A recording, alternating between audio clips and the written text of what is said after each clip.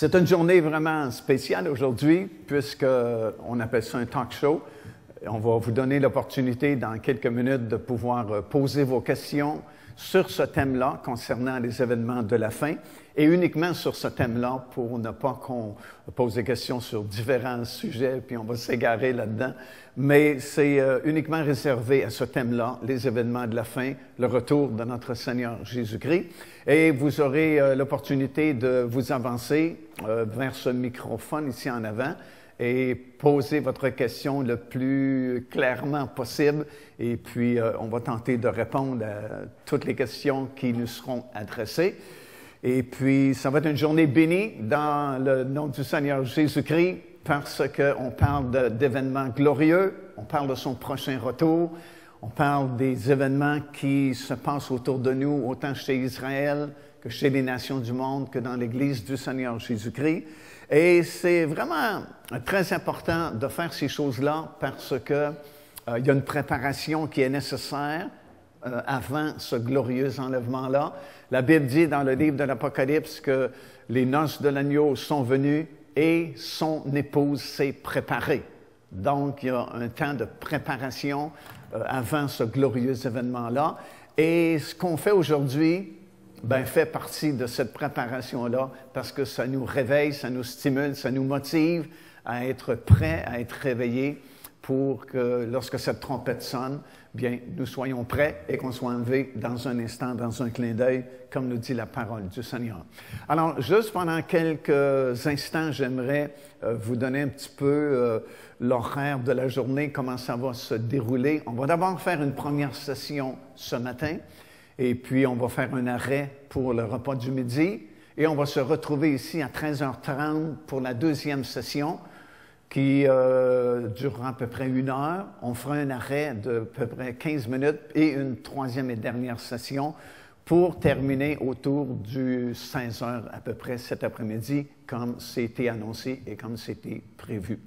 Alors, euh, dans quelques minutes, on va ouvrir euh, la session pour que vous puissiez poser, commencer à poser vos questions. Et je pense que notre euh, soeur, le pasteur Quincy, va traduire en anglais à ce moment-là. Mais juste auparavant, j'aimerais juste euh, vous mettre un petit peu dans le contexte de, la journée et des choses que nous allons partager ensemble, bien sûr concernant euh, le retour de notre Seigneur Jésus-Christ. Vous savez sans doute que nous sommes une génération vraiment particulière parce que à peu près tous les signes qui nous ont été donnés dans la parole du Seigneur pour nous prévenir de la proximité de son retour se sont accomplis dans à peu près une génération, notre génération. Vous savez, la Bible est remplie de signes, de points de repère pour nous aider à discerner l'époque, la saison, le temps du retour de notre Seigneur Jésus-Christ.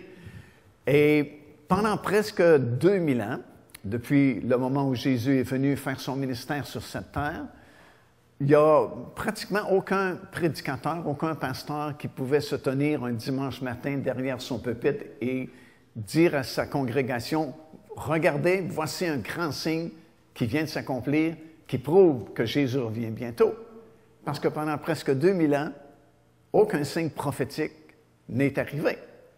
Mais soudainement, dans les quelques dernières années qui sont derrière nous, presque à chaque semaine, il y a quelque chose qui se produit il y a quelque chose qui arrive où on peut dire, regardez, voilà un autre signe qui confirme que nous sommes vraiment proches du retour de notre Seigneur Jésus-Christ. Alors, ça veut donc dire que nous sommes une génération particulière. Nous vivons dans un temps vraiment spécial, très important, un temps très critique qui euh, nous démontre encore une fois de plus que nous sommes la génération qui verra premièrement l'enlèvement de ceux qui sont prêts et le retour du Seigneur Jésus-Christ sur la terre pour établir son royaume. Ce qu'on va parler aujourd'hui, euh, on va faire souvent référence à un livre en particulier dans la Bible, qui se trouve le dernier livre, qui s'appelle le livre de l'Apocalypse.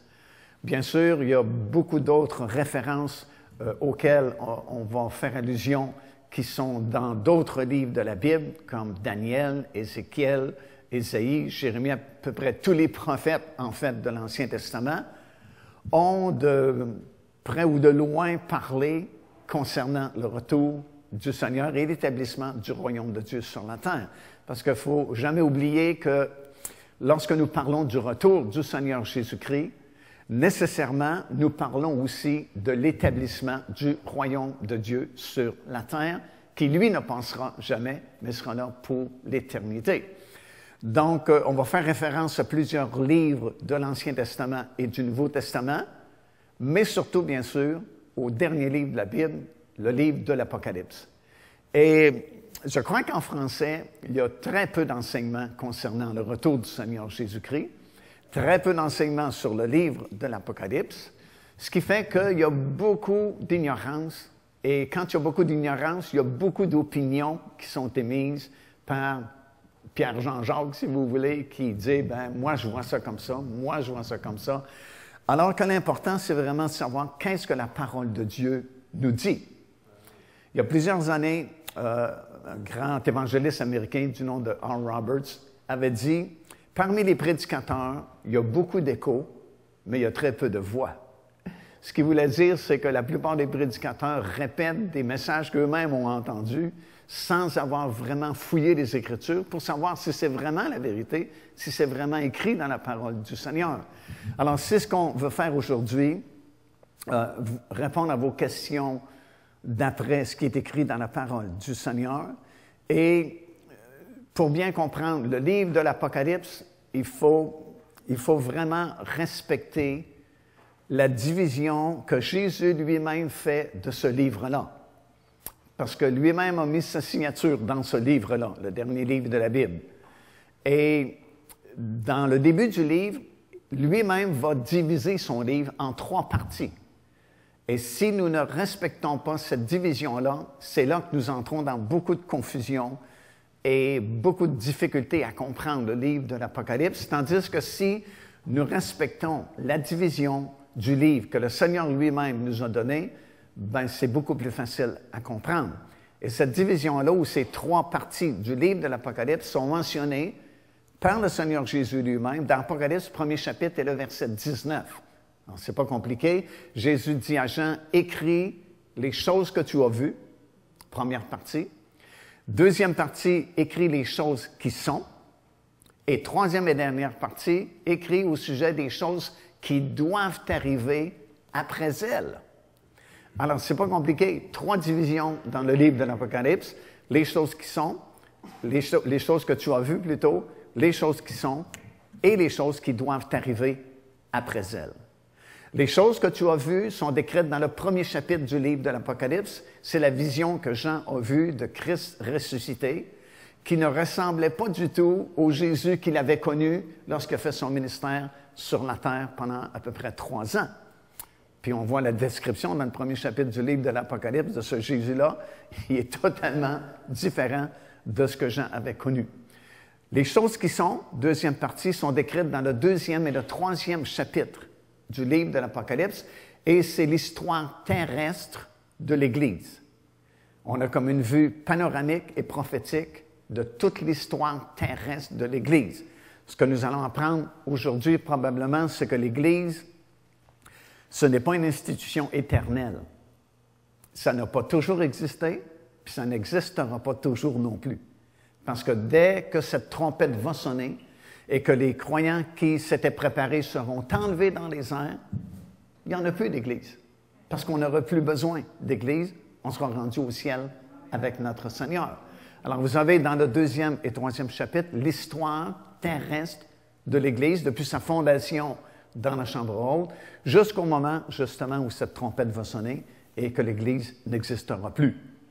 Et là, la troisième et la plus longue division est la dernière, couverte du quatrième chapitre, premier verset, jusqu'à la fin, 22e chapitre du livre de l'Apocalypse, ce sont des choses qui doivent arriver après elles. Après quoi? Après les choses qui sont. C'est quoi les choses qui sont? C'est l'Église, l'histoire terrestre de l'Église. Donc, si on comprend bien la division que Jésus lui-même fait de son livre, tout ce qui est écrit, à partir du quatrième chapitre, premier verset, jusqu'à la fin du livre, il n'y a rien de tout ça qui est encore arrivé parce que ce sont les choses qui doivent arriver après les choses qui sont, c'est-à-dire l'histoire de l'Église. Autrement dit, tant que l'Église est ici sur la terre, tant que l'enlèvement des croyants n'a pas eu lieu, nous ne sommes pas encore dans les choses qui doivent arriver après les choses qui sont. Alors, si on comprend ça, c'est beaucoup plus facile de comprendre le livre de l'Apocalypse parce que là, il est écrit de façon chronologique et puis c'est plus simple aussi à comprendre. Alors, voilà, on va, on va débuter si vous êtes prêts. Et ceux qui ont des questions, bien, vous n'avez qu'à vous présenter au microphone ici, puis on va tenter de répondre au meilleur de notre connaissance. Comment, comment nous, tant que pasteurs, on doit préparer l'Église pour le retour de Jésus-Christ? Bien, premièrement, c'est en enseignant et en prêchant concernant le retour du Seigneur Jésus-Christ. Ce que je remarque, surtout du côté francophone, c'est qu'il y a très peu d'églises, justement, qui parlent de, des signes de la fin, qui parlent de l'enlèvement des croyants, qui parlent du retour du Seigneur Jésus-Christ. Euh, je ne sais pas pourquoi euh, exactement cette situation existe. Peut-être que parce qu'il y a eu tellement d'interprétations différentes concernant les prophéties de la fin que plusieurs pasteurs n'osent pas euh, entrer dans ce sujet-là, dans ce, ce thème-là. Mais c'est dommage parce que c'est par la prédication de la parole de Dieu qu'on peut le mieux préparer les gens, parce que la parole, c'est puissant. C'est pas juste un livre ordinaire, la Bible, mais c'est la, parole de Dieu. Elle est vivante. Et puis, lorsqu'on prêche la parole de Dieu, ça crée toujours euh, quelque chose de positif dans la vie des gens. Et ça motive les gens. Parce que la Bible dit, euh, bien sûr, que la foi vient de ce qu'on entend, et ce qu'on entend vient de la parole. Alors, si la parole n'est pas prêchée sur ce thème-là, sur ce sujet-là extrêmement important à notre époque, ben ça ne stimule pas la foi des gens. Et si la foi des gens n'est pas stimulée concernant le retour du Seigneur, ben les gens ne se préparent pas. Et c'est particulièrement important aujourd'hui parce qu'il y a beaucoup d'insouciance aujourd'hui. Si on est à l'époque de la Odyssée, où Jésus a dit à son Église, tu, n'es ni, ni bouillant ni froid, mais tu es juste tiède, beaucoup d'indifférence, beaucoup de complaisance parmi euh, les, enfants de Dieu. Et si on, en plus on ne prêche pas sur l'imminence du retour du Seigneur Jésus-Christ, ben il n'y a pas de motivation, puis c'est c'est la pire façon de ne pas préparer les gens, de ne pas prêcher régulièrement concernant le retour du Seigneur. Oui, pourquoi est-ce que Jésus est venu prêcher aux, brebis perdues de la maison d'Israël? Ben, c'est qu'au tout début, quand le Seigneur Jésus-Christ est venu il y a 2000 ans passés, il venait chez les siens, chez le peuple juif, parce qu'il était le roi qui avait été prophétisé dans l'Ancien Testament. Alors, vous remarquez, au début, il ne venait que pour le peuple juif, et dès l'instant où il a débuté son ministère public, par le transfert sacerdotal qui s'est opéré au Jourdain entre Jean-Baptiste et Jésus, le message de Jésus, c'est repentez-vous car le royaume des cieux approche.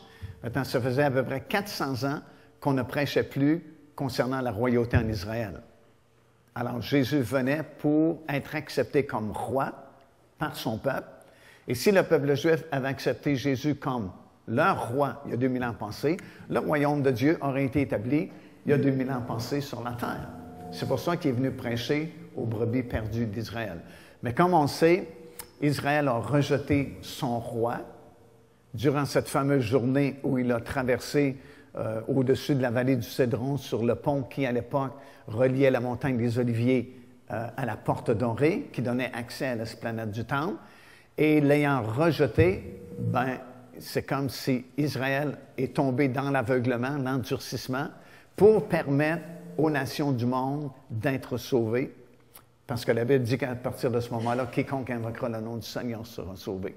Mais lorsqu'il va revenir, lorsque, en fait, dans Romains chapitre 11 et le verset 25 jusqu'à 27, ça nous dit clairement qu'il y a un certain nombre de non-juifs qui sont appelés, qui doivent être sauvés. Et Paul dit, lorsque la totalité des païens, c'est-à-dire des non-juifs, sera entré dans l'Église du Seigneur Jésus-Christ, alors viendra la fin. Le libérateur viendra de Sion, et puis il va, euh, ça va être l'établissement du royaume de Dieu sur la terre. Alors, c'est pourquoi, au tout début, il venait prêcher aux brebis perdues d'Israël, qu'ils l'ont rejeté, ce qui a permis euh, que le salut soit accessible au monde entier. Et finalement, lorsqu'il revient, il établit son royaume avec ceux, autant du peuple juif que non juif, qui l'auront accepté comme leur Seigneur. Quelqu'un d'autre? Apocalypse 9, verset 4, il leur dit de ne point faire de mal à l'herbe de la terre, ni à aucune verdure, ni à aucun arbre, mais seulement aux hommes qui n'avaient pas le sceau de Dieu sur le front. Mhm. Qui sont les hommes qui ont le sceau de Dieu sur le front? Ça, ce sont 144 000 Juifs, 12 000 de chacune des douze tribus d'Israël, qui ont été scellés pour une mission spéciale durant une partie des sept années de tribulation. Alors ça, ça n'a pas rapport avec l'Église, mais ça a rapport avec les 144 000 Juifs qui ont été sélectionnés et qui ont reçu la marque du Seigneur, le sceau de Dieu, pour être protégés jusqu'au milieu des sept années de tribulation. Merci. Oui. Quelqu'un d'autre? Oui, juste vous avancer vis-à-vis le microphone.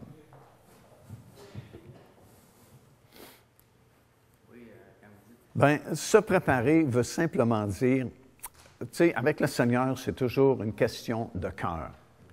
Ce n'est pas une question d'œuvre, ce n'est pas une question de, combien d'âmes qu'on a amené au Seigneur ou combien de- de- d'exploits qu'on a accomplis. Avec le Seigneur, c'est toujours une question de cœur. Alors, lorsqu'on parle de préparation, d'être préparé pour cet événement-là, c'est que notre cœur soit droit avec le Seigneur. Dans le problème des derniers jours concernant l'Église, c'est que dans Matthieu chapitre 25, l'Église est présentée comme dix vierges qui sont parties à la rencontre de l'époux. Les dix semblaient identiques à l'apparence. Ils sont habillés de la même façon. Les dix ont une lampe. Les dix avaient de l'huile au tout début. Alors, en apparence, si tu regardes aux dix vierges ou l'ensemble de l'Église, euh, elles sont toutes identiques. Elles semblent toutes pareilles. Sauf qu'on a réalisé un petit peu plus tard dans Matthieu 25 qu'il y en avait la moitié de ce groupe-là qui n'était pas prêt, qui ne s'était pas préparé, parce que justement, quand on a crié, voici l'époux, le Seigneur, là, c'est pas bientôt qu'il revient, il arrive, tout le monde s'est réveillé dans l'Église, mais tu en as la moitié qui ont réalisé qu'ils n'ont plus d'huile dans leur lampe. Alors, c'est une question de préparation de cœur. Autrement dit, les vierges folles qui ont manqué l'enlèvement, c'est des gens qui fréquentent quand même l'Église, c'est des gens qui ont été sauvés, c'est des gens qui connaissent jusqu'à un certain point tout le roulement de l'Église, qui viennent aux réunions, assistent aux réunions, mais leur cœur n'est pas dans l'affaire. Ils vont chanter, mais ils vont chanter par habitude. Ils viennent à l'Église, mais ils viennent à l'Église comme on allait autrefois dans nos anciennes religions assister à un culte, mais le cœur n'est pas, est pas dans l'affaire. Alors, c'est pour ça, ça qu'il faut se réveiller par justement la prédication de la parole de Dieu pour ramener notre cœur dans l'affaire. Et avoir le cœur dans l'affaire, ça peut ça veut pas nécessairement dire de payer 10 heures par jour. Non, c'est ça. Ce n'est pas une question d'œuvre avec le Seigneur. C'est une question de disposition de notre cœur. Tu sais, chacun de nous, on, on sait si on sert le Seigneur de tout notre cœur ou si on est un petit peu euh, négligent, insouciant, puis qu'on est religieux, entre guillemets. Alors, c'est tout simplement ça que ça veut dire. Ça peut être considéré comme une œuvre. Quelqu'un qui paye 10 heures par jour, qui sont obligés de payer 10 heures par jour, ça peut être Ouais. considéré comme une œuvre. C'est ça, il faut faire la distinction entre servir le Seigneur de tout notre cœur ou faire des œuvres. Puis ça, c'est pas facile parce qu'on a été élevé dans un coin de pays où nos anciennes religions nous ont enseigné à faire des œuvres pour mériter le ciel. Puis c'est impossible. Même si tu fais des œuvres toute ta vie, puis tu es le champion pour faire des œuvres, tu ne mérites pas plus d'être sauvé, puis tu n'es pas sauvé davantage à cause de ça non plus. Alors, c'est une disposition de cœur, faire attention à notre cœur. Ce que, tu sais, la Bible dit dans Proverbe chapitre 4, garde ton cœur plus que toute autre chose. Parce que de lui viennent les sources de la vie. Alors, se préparer, c'est garder notre cœur dans le Seigneur. Bien, c'est toujours une question de cœur. On revient toujours à ça. C'est la base, ça. Parce que si ton cœur est vraiment dans le Seigneur, ta vie est vraiment donnée au Seigneur, toutes ces choses-là, comme tu mentionnes, qui semblent impossibles au naturel. Tu sais, c'est pas naturel d'aimer nos ennemis. Mais si ton cœur est vraiment dans le Seigneur, puis que tu sers le Seigneur de tout ton cœur, ben ça va, ça va venir par la force du Seigneur. Autrement dit, c'est lui qui va combler ce qu'on n'est pas capable de faire. Tu sais, au naturel, on n'est pas capable d'aimer nos ennemis. Puis tu as beaucoup de choses que la parole de Dieu nous demande de faire que c'est pratiquement impossible à faire. Mais si on commence par la base, la base, c'est mon cœur est honnête, je sers le Seigneur de tout mon cœur. Tu sais, je ne suis pas parfait, j'ai des manquements, mais mon cœur est vraiment donné au Seigneur. Bien, lui va pourvoir. C'est, ça va être son amour au travers moi qui va me rendre capable d'aimer ceux qui me font du tort. C'est vraiment le secret, garde ton cœur plus que toute autre chose.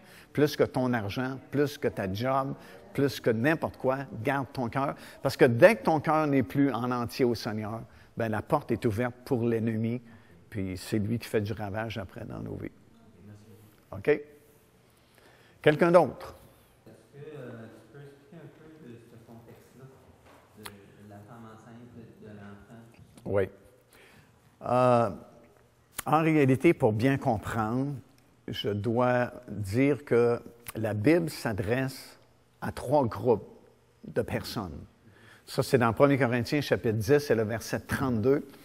Paul dit, ne soyez en scandale ni aux Juifs, ni aux Grecs, ni à l'Église de Dieu. Alors, tu as le peuple juif, les Grecs représentent les nations, français, anglais, espagnol, puis toutes les nations qui existent. Et troisième catégorie, l'Église de Dieu. Et la parole du Seigneur nous a donné des signes dans ces trois groupes-là, des signes chez Israël, des signes chez les nations et des signes dans l'Église de Dieu pour nous prévenir de la proximité du retour du Seigneur. Ici, dans le chapitre 12 de l'Apocalypse, la femme représente le premier groupe, Israël. Pourquoi est-ce qu'on sait que la femme représente Israël? À cause du symbolisme qui est décrit dans le chapitre 12 avec les douze étoiles, la lune, le soleil. C'est la même chose que le, songe ou le rêve de Joseph lorsqu'il a vu ses frères se prosterner devant lui. C'est le même langage. Alors on sait que, d'une part, c'est Israël à cause de ça. Deuxièmement, on sait que c'est concernant Israël parce que la femme ne peut pas représenter l'Église, parce que l'Église n'existe plus à ce moment-là, à partir du quatrième chapitre.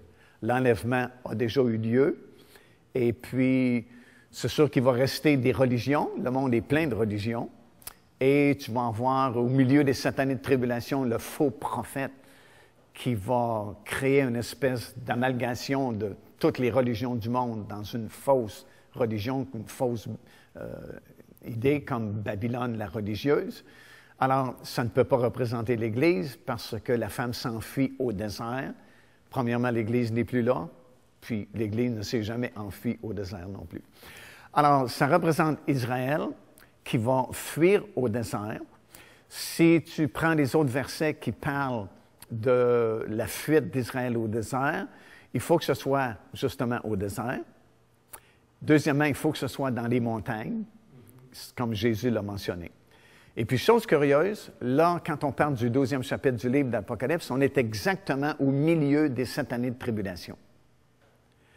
Et au milieu des sept années de tribulation, c'est le moment où l'Antéchrist, qui avait déjà signé ce traité de paix et de sécurité trois ans et demi auparavant, réussit finalement à devenir le gouvernement mondial. Il prend, possession du contrôle mondial à ce moment-là. Malheureusement, il y a quelqu'un qui va l'assassiner, mais il revient miraculeusement, semble-t-il, à la vie et les gens sont dans l'admiration et l'étonnement. Et puis là, on dit qui est semblable à cet homme qui a la blessure mortelle et qui pourtant vit quand même. À ce même moment-là, tu as un deuxième personnage satanique qui fait son apparition soudainement, que la Bible appelle le faux prophète, qui saisit ce moment-là et puis impose la marque de la bête, 666, fait une image de la bête qui est capable de parler, qui est établie sur le temple. L'Antéchrist lui-même, qui est revenu à la vie, va s'asseoir dans le lieu très saint du temple et va se proclamer lui-même Dieu. Et le faux prophète demande à ce qu'on adore cette image-là qui est installée sur l'esplanade du temple. Alors, chez les Juifs, on sait très bien que ça ne peut pas être leur Messie, parce que trois ans auparavant, ils avaient bel et bien accepté cet homme-là comme leur Messie. Si vous allez en Israël présentement, il y a une grande effervescence parmi les enseignants, parmi les rabbins, qui prêchent beaucoup que le Messie est sur le point de se manifester en Israël. On prêche beaucoup qu'on est dans un temps messianique où le Messie enfin va arriver. Parce que pour Israël, ils ont rejeté le Messie quand il est venu il y a 2000 ans, donc ils attendent encore leur Messie. Lorsque cet homme va soudainement faire émergence au Moyen-Orient et va réussir ce qu'aucun gouvernement américain n'a réussi jusqu'à présent, c'est-à-dire faire signer un traité de paix et de sécurité pour une période de sept ans. Ça, c'est Daniel chapitre 9, verset 27. Pour Israël, ce sera leur Messie. Mais là, trois ans et demi plus tard, ils réalisent bien que ça ne peut pas être leur Messie pour plusieurs raisons, mais la principale, parce que le faux prophète fait une image de la bête, de, de l'Antéchrist, et demande l'adoration du peuple juif et du monde entier vers cette image-là. Or, le deuxième commandement de Dieu, que la religion a enlevé parce que ça les condamnait trop, dit très bien de ne pas se faire d'image taillée, ni de représentation de choses qui sont dans le ciel et sur la terre, de ne pas s'agenouiller devant ça et de ne pas invoquer ces images-là.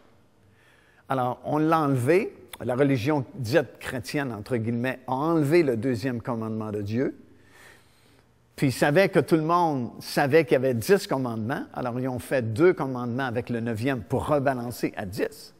Mais en Israël, on n'a jamais enlevé le deuxième commandement. Puis si vous allez dans votre Bible, le deuxième commandement, c'est ce que je viens de mentionner. Tu ne te feras point d'image taillée et tu n'adoreras pas ces choses-là.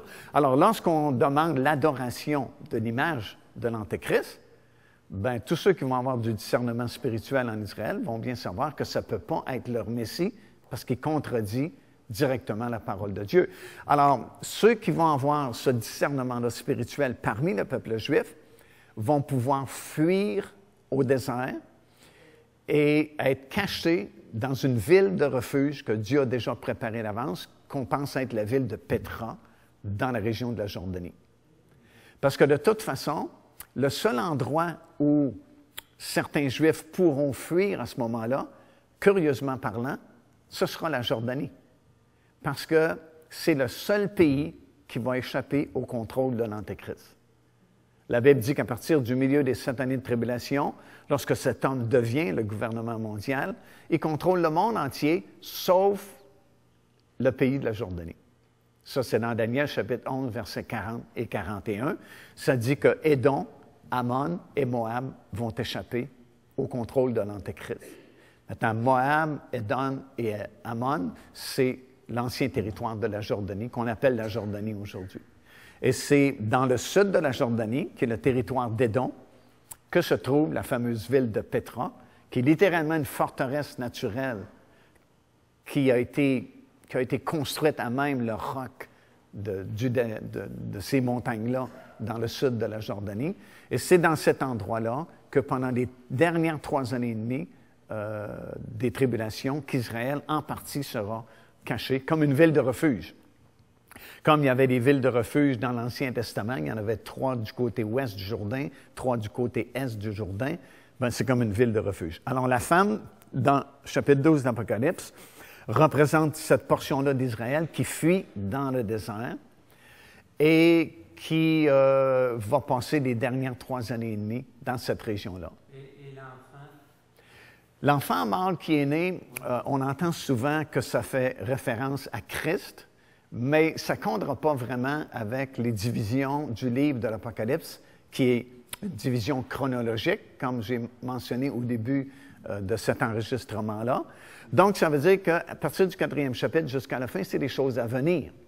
Alors, ça ne peut pas être vraiment Jésus-Christ, ça ne peut pas représenter la naissance de Jésus-Christ qui est enlevé au ciel, mais l'enfant mâle que, que, la femme a donné naissance à cet enfant-là représente justement les 144 000 Juifs qui ont été scellés au chapitre 7, qui sont protégés, comme on a entendu tout à l'heure au chapitre 9, contre les fléaux qui tombent à ce moment-là, mais qui sont enlevés au ciel à partir du 12e chapitre. Et vous allez les retrouver, ces 144 000-là, sur la montagne de Sion, dans le ciel, dans le chapitre 14, au début du chapitre 14 du livre de l'Apocalypse. 144 000. Oui, exactement. Ben.